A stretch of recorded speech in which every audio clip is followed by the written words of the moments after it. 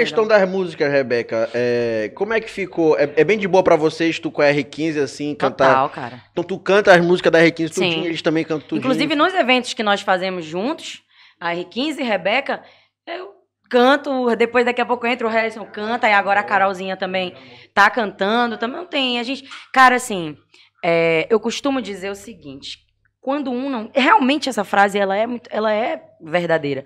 Quando um não quer, dois não brigam. Uhum.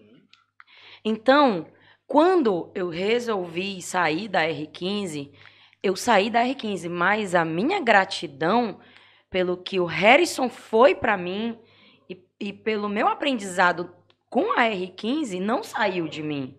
Entendeu? Então, assim, eu sempre tive essa preocupação em manter essa, essa boa relação.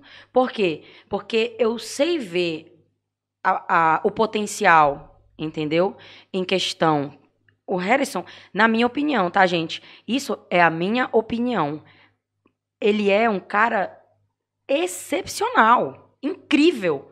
Ele, o Harrison, de fato, é uma das melhores pessoas que eu já conheci na minha vida. É, fez até um filho com ele, né? Entendeu? Não, é, nós tínhamos, né, um relacionamento, foi, Sim. inclusive eu, eu é, fui casada, nós fomos casados.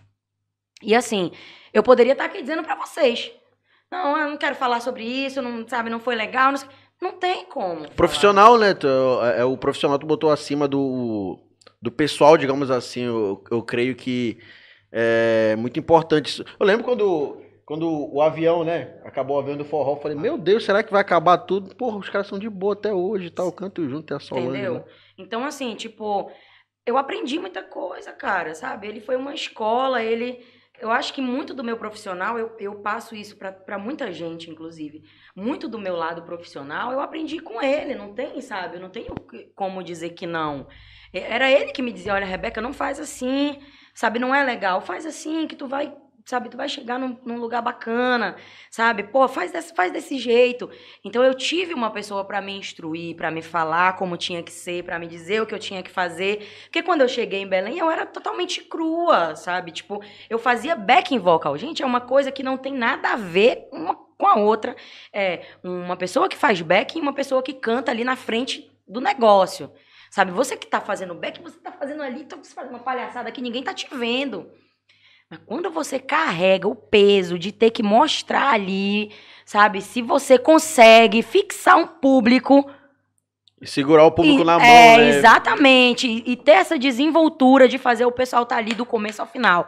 Com você é outra história, pai. Então, tudo isso eu fui aprendendo, sabe? Fora. E não é só como profissional, ele é um excelente ser humano.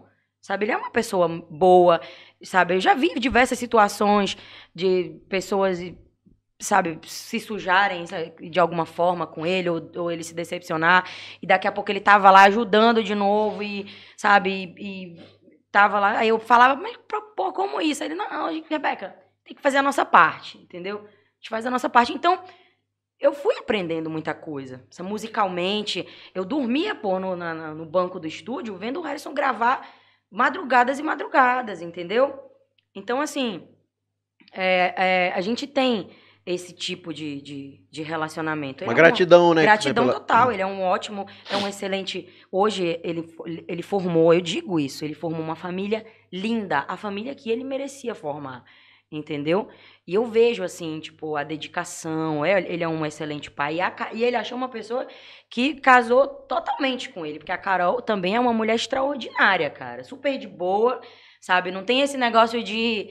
De, ah, porque é, é ex, é, sabe? Não, não vou. Não, ela me trata super bem, a gente sempre conversa, inclusive do Harrison Filho, a gente bate altos papos, sabe? Ela me passa as informações e tal, e, e é assim, entendeu? E eu, eu peguei isso. O interessante é, se você sai de um relacionamento e você não sabe é, como manter uma. é, esse, esse, esse afeto, Uma relação saudável, uma né? relação saudável, você vai carregar isso para os outros.